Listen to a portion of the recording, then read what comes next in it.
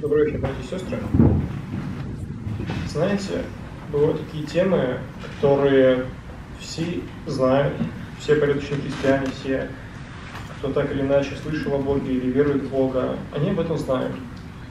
Но периодически иногда нужно эти темы повторять, нужно усваивать их вновь и вновь и открывать для себя все новые мысли, новые идеи и наполнять своей энергией для нашей повседневной жизни. И сегодня мы будем разбирать э, отрывок второй главы первого послания Петра с 4 по 10 стихи. Я разберу с 4 по 6 стих и далее по продолжу. Э, откройте, пожалуйста, ваши Библии, если у кого есть с собой, и прочитаем как раз с 4 по 6 стих. Второе, э, первое послание Петра, вторая глава, с 4 по 6 стих приступая к нему, камню живому, человеками отверженному, но Богом избранному, драгоценному. И сами, как живые камни, устрояйте из себя дом духовный, священство святое, чтобы приносить духовные жертвы, благоприятные Богу Иисусом Христом. Ибо сказано в Писании, «Вот, я полагаю, всего не камень кровеугольный, избранный, драгоценный, и верующий в него не постыдится». И перед тем, как начинать э, разбирать этот, эти стихи дословно, перед тем, как углубляться в это, давайте посмотрим на эту главу немножко сверху, немножко схематически. Начинается э, глава с того, что апостол Петр говорит о том, как христианам стоит жить, что им стоит делать.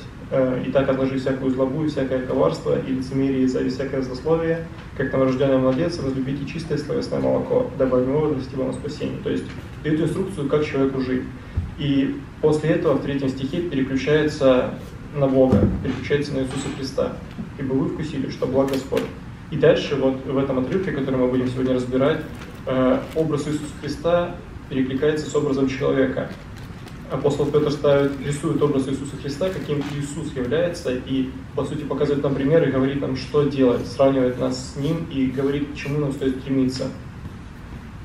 Итак, с 4 стиха. «Приступая к Нему, к Камню живому, приступая, э, в оригинальном переводе, если переводить дословно, постоянно приближаясь к Иисусу Христу, к Его образу, к Его примеру, к Его характеру. В Библии много говорится о постоянстве, о важности того, что христианин должен постоянно изучать Библию, постоянно общаться с Богом, и постоянно уделяется много внимания Библии. Ведь если в наших приоритетах стоит Бог, Иисус Христос, то и наша жизнь должна основываться на этом, строиться вокруг Него. Ведь получается, что нашей духовной жизни мы с вами строители, и нам выбирать, из чего нашу духовную жизнь строить и на чем ее основывать. И как раз об этом будет э, эти три стиха, о строительстве своей духовной жизни, своего духовного дома и своего духовного святилища, э, священства точнее, как там будет сказано далее. Какая ассоциация приходит вам на ум, когда вы слышите слово «камень»? булыжник, возможно, кирпич. Твердое что-то, что-то основательное, что-то непоколебимое, крепкое и устойчивое. Именно таким апостол Петр описывает Иисус Христа. Твердым, основательным, на, котором, на которого можно положиться, на которого можно рассчитывать. Живой камень. Не просто бездушный предмет, не просто кусок камня или кирпич, или какой-то строительный шлакоблок, или что-то еще. Живой. Живой. Тот, который умер за наши грехи, тот, который впоследствии воскрес и жив до сих пор, живой Иисус Христос живой камень, который мы должны взять себе как краеугольник для основания своего духовного храма, для основания своей духовной жизни. С чего все должно начинаться? С его жертвы на наш с нашего сознания о том, что мы греховны, и о том, что мы прощены Иисусом Христом. С этого должно все начинаться. И об этом апостол Петр здесь пишет. Иисус Христос, которого отвергли люди, предали его на смерть, но которого избрал Бог. Написано, что камню живому человеками отверженному. Люди его распяли, люди голосовали за то, чтобы выбрали его э, распять, а не Варнаву. Э, люди не приняли его как царя и не поверили, по крайней мере, не все люди поверили его словам и не провозгласили его своим личным спасителем и царем. Люди распяли его, люди его отвергли. Но Богом он был избран, Богом он почитаем драгоценным. И в прошлой главе апостол Петр писал, «А, но которого избрал Бог, э, предназначенного еще прежде, прежде создания мира, То есть Бог избрал Иисуса Христа на эту миссию, на эту жертву еще прежде создания мира. Он был избран Богом, он драгоценен. И еще одна характеристика Иисуса Христа. И мы, представители, должны на этом, именно конкретно на этом основывать свою духовную жизнь, свое духовное жилище. Весь пятый стих э, посвящен этому строительству.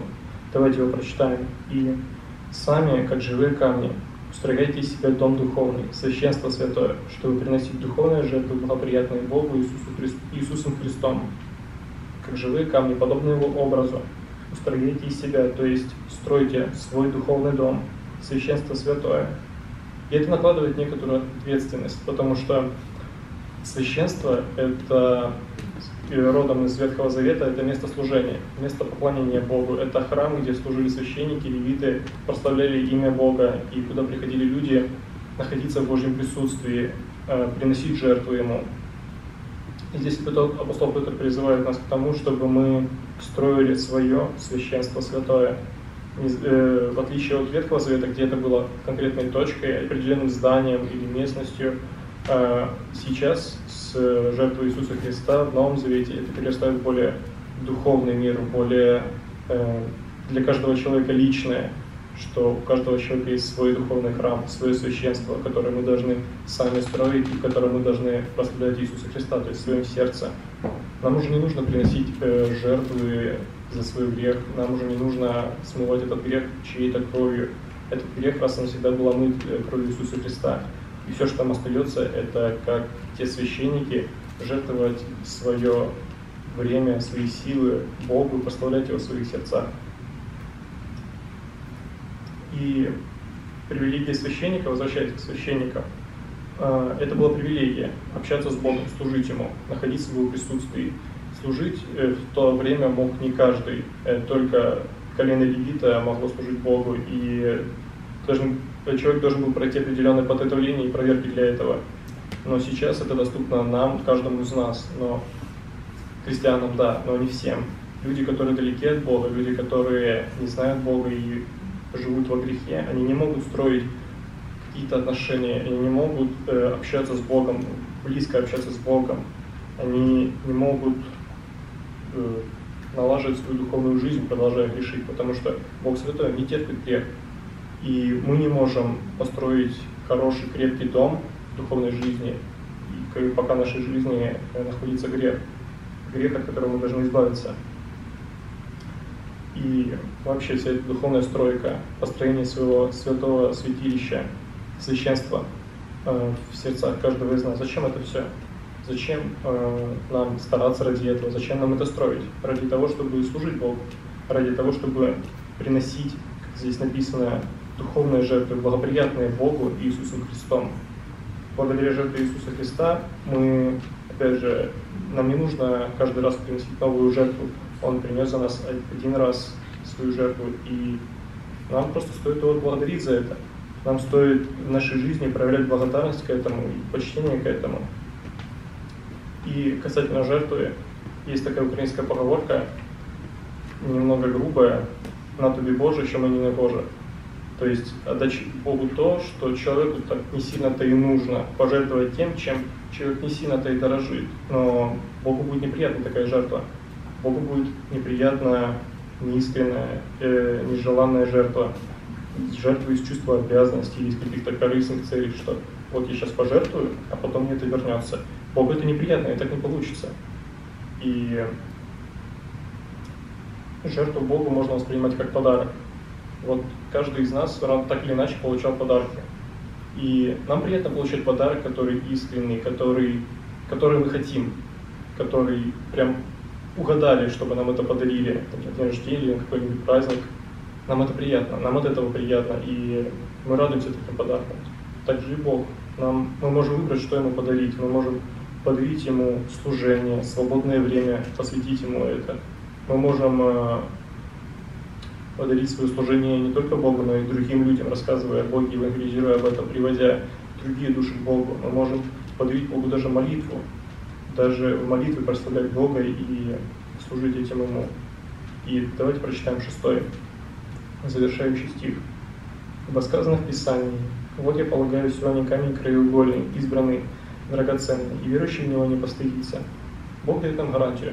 В этом стихе Бог, э, это стих из Ветхого Завета, из книги Исаии, 28 главы, 16 стих, там написано так, что «Посему так говорит Господь Бог, вот я полагаю основание на Сионе камень, камень испытанный, краеугольный, драгоценный, крепко утвержденный, верующий в него не постыдится».